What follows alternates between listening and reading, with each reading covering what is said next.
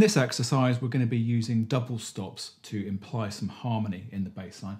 And if you don't know the term double stop, all we really mean by that is two notes, any two notes, played simultaneously.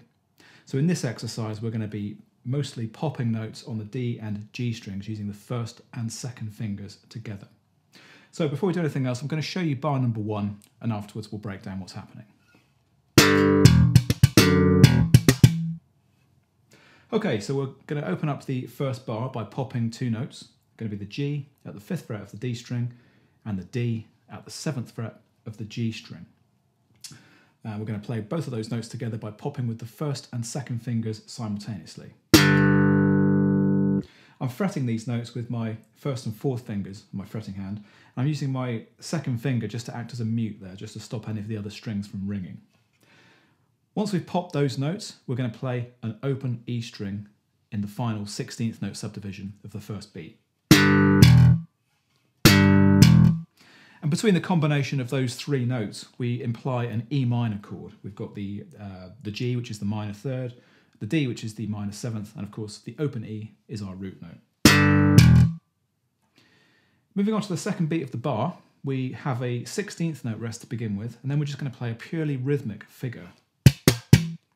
Three notes, slap, pop, slap, all ghost notes. I'm playing those on the E string and on the G string. Like that. The second half of this bar is almost identical, but we're just going to take that double stop and we're going to move the G down one fret to the F sharp. So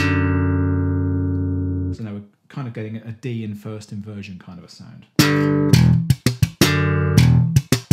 And the rest of the bar is, is, is, the same as what we did in the early part of the bar. We hit the E string again, then we play that rhythmic figure on the on the fourth beat of the bar. So bar number one uh, is going to sound like this. And again.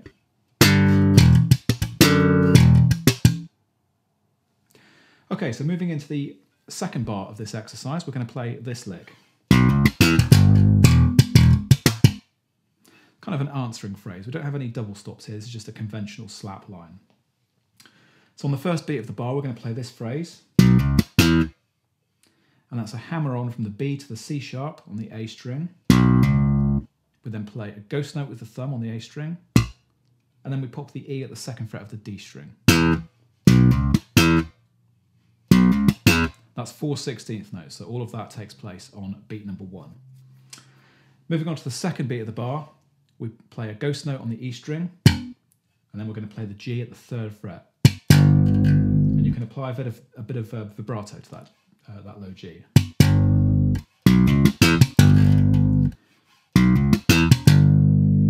That's what we've got so far. We follow that by just playing a rhythmic figure on the E. And that's open E, ghost note on the E string, another open E. And to finish off this bar, we're just going to reuse that rhythmic figure that we had back in bar number one. Slap, pop, slap. That's our second bar. Let's put those first two bars together now.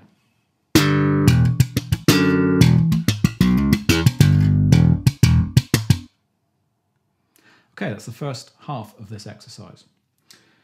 Moving into the third bar, we're going to do the exact same thing as we did back in bar number one. And then in the fourth bar, we've got something quite different. So we're playing some different, uh, different ideas here. So the first thing that we're going to do is play this figure. Now this is a, a major sixth interval. Uh, so from the A, one, two, three, four, five, six, up to an F sharp on the top string.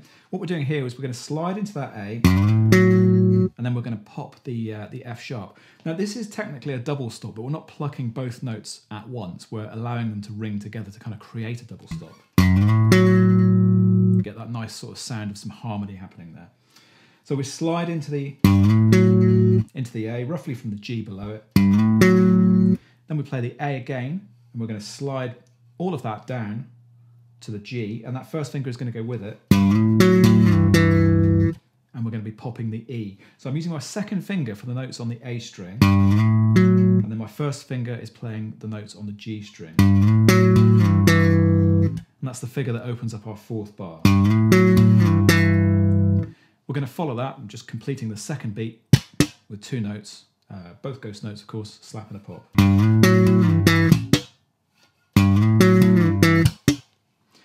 And then onto the uh, the third beat of the bar. Nice and simple. Hammer on from the E, uh, from the D to the E, I should say, on the A string, and then we hit the open E string twice. And then to finish off this bar, we're going to use that rhythmic figure once again.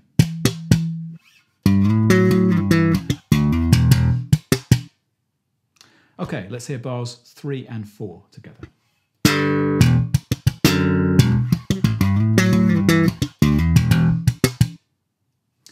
And that brings us to the end of this exercise. The lesson that you've just watched is from my brand new video course 100 Slap Bass Grooves. This is a huge course with exercises for players of all ability levels and covering techniques such as basic slapping and popping, fretting hand slaps, double stops, double thumbing, strumming, double popping, all the good stuff basically.